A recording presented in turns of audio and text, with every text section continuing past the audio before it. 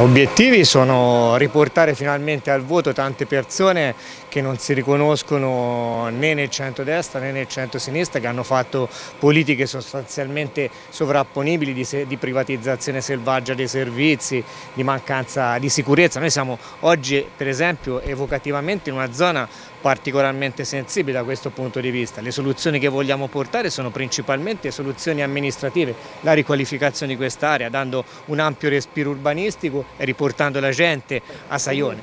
Daniele Farsetti, candidato sindaco al comune di Arezzo per la lista Patto Civico, sceglie il quartiere di Saione per presentare i candidati della sua lista. La sicurezza, ha detto, è indubbiamente un tema cardine ma non è l'unico o il primo della lista, come ci conferma il suo capolista è impegnato soprattutto nella questione del termovalorizzatore di San Zeno. Devo con minimo di presunzione dire che è un tema mio, ecco, nel senso che su questo tema io è dal 2012 che mi sono avvicinato ai temi amministrativi, ecco, fin da quando si parlava del raddoppio per nuovo gestore.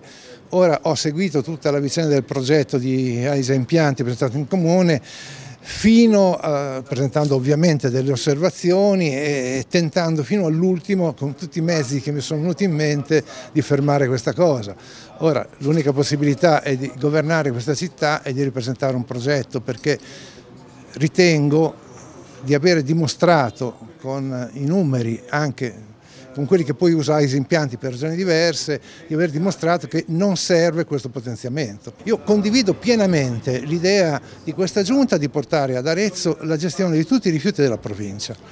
In questo contesto però, insisto, non serve comunque potenziare il termovalorizzatore, almeno nella misura in cui loro hanno chiesto e soprattutto non serve eh, aumentare l'autorizzazione a 75.000 delle tonnellate da termovalorizzare. Questa è una valutazione che io considero tecnica, sono pronto a discutere in qualunque sede, non le trovo le sedi in cui qualcuno sia disposto ad ascoltarmi, però questa è una, ecco.